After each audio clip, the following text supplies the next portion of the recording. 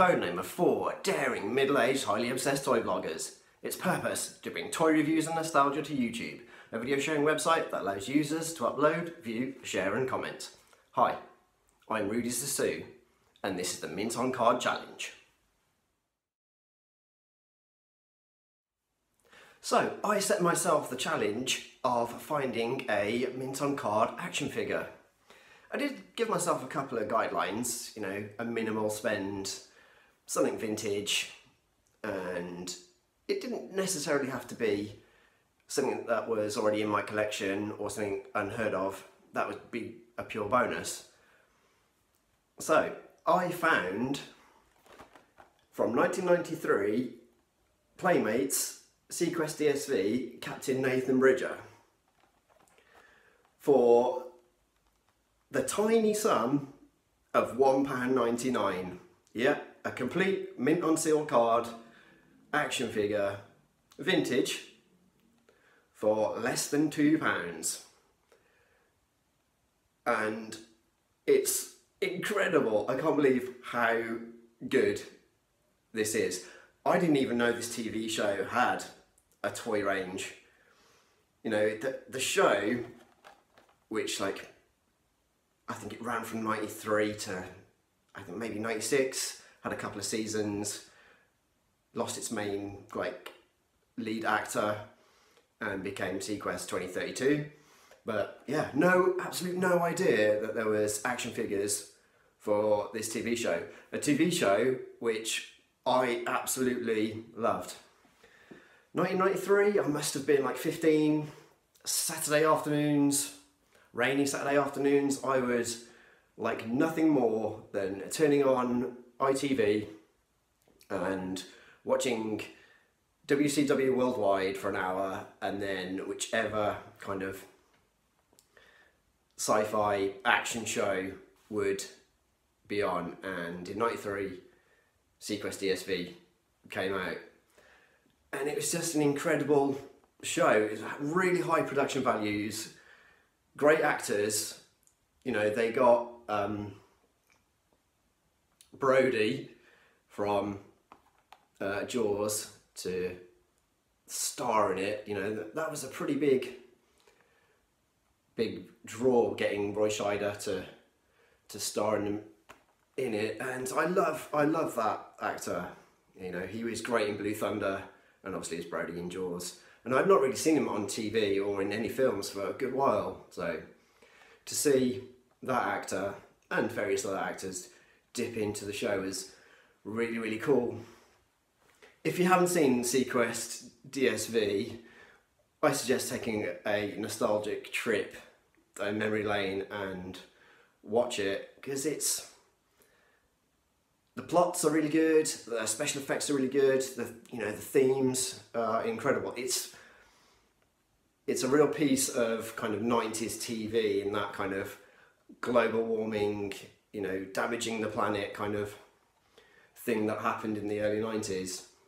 And to be honest, if you like Star Trek The Next Generation, it's pretty much a carbon copy of, of that formula with, you know, the older distinguished gent as a captain, the very military based commander, uh, a chief engineer, and a young boy who is obviously a gifted genius who's on there. And then you kind of got like your your token other kind of characters, you know, the the very strong female and a wacky kind of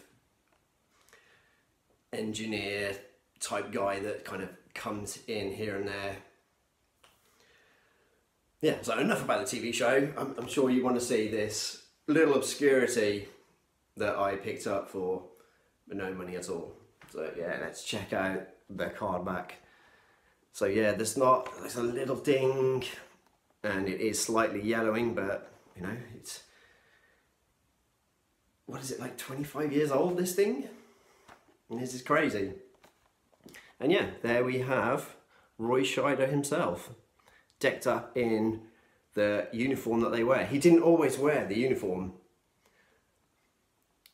And it just, it oozes just pure 90s action figures. You know, this is, I kind of remember it looking like the Prince of Thieves kind of card backs or some of the Batman card backs that where you've got an artistic rendition of of the show and it comes with some killer accessories done in like the kind of nautical underwater themes with the oranges and the yellow and it comes with a stand uh, and I've got to tell you some of the things that are written on this card back. It is hilarious. So, attention collectors, each figure individually numbered. And you can see down at the bottom, there they are. I never remember action figures really getting numbered at all. G.I. Joe and Action Force definitely didn't number their figures in a certain way. So I'm just wondering how many they actually made of this and whether, you know, stock number 1501 is high or low. But I don't, I don't really care about that. The other hilarious thing on uh, this card back is, where if I can find it. Here, it says, SeaQuest display base, plug Bridger to his base to reenact classic SeaQuest excitement. How is putting an action figure on a stand reenacting scenes from the TV show? Surely you're going to pick it up and play with it. That's hilarious. I've never seen that on a card carded figure before. But yeah, if you have a look at the back, you can see the other characters. You've got Lucas, the child genius, and Commander Ford. Obviously, he's the more military type. You know, it's a a war vessel, whereas everyone else is kind of like, no, it's for exploration and protecting the planet. Uh, if that's a real thing, if there is a dolphin action figure, that's hilarious because so many times the animals in TV shows it just didn't get an action figure, but why would they? You know, in some ways, Battle Cat a statue, but you know, you didn't get uh, Jake Rockwell's dog Shadow from Centurions, and they missed out a big, big opportunity there. And you get someone called the Regulator. So yeah, he's obviously, you know, the wacky guy that probably helped develop the TV show and uh, TV show, the submarine, and didn't get to kind of have any say on it becoming a military vehicle. And you also get Lieutenant J.G. O'Neill, who is Ted Raimi, who pretty much starred in every uh, of every single film of his brothers. What I will show you though, and I find hilarious, is the pictures of the accessories on the back are not kind of how they are in the package. They are incredibly like coloured. They they must be like stock photos of you know what it was intended to be, and then they obviously realised that they couldn't paint every single accessory to go like that. Look at the detail on what was this one called? The CPOC, SeaQuest Personal Onboard Computer. Issued to all personnel for use as a notebook, daily journal, or ship's log. Which, hmm, you don't actually get it inside this. This thing is brilliant. This is so much fun. It's kind of incredible, yet kind of a little bit shit. What else do you get? Stun gun, which that's the stun gun, all black, but in here it's kind of yeah, it's blue and silver. And then you get the spring powered away team launcher with undersea spelunking hook. A gun. Yeah, which is literally just black and yellow. But you know, these are just incredible kind of pieces of nostalgia and history for me, and it's for less than two pounds. It's an incredible addition to the collection, and it was such a fun challenge to find.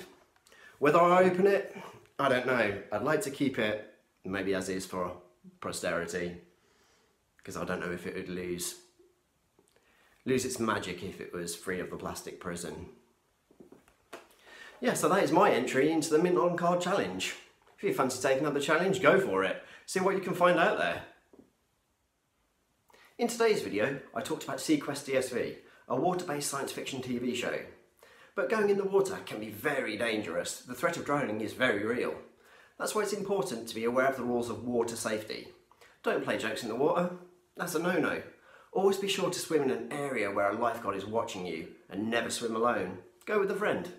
Keep your swim safe. That way you'll know you can swim another day. And knowing it's half the battle.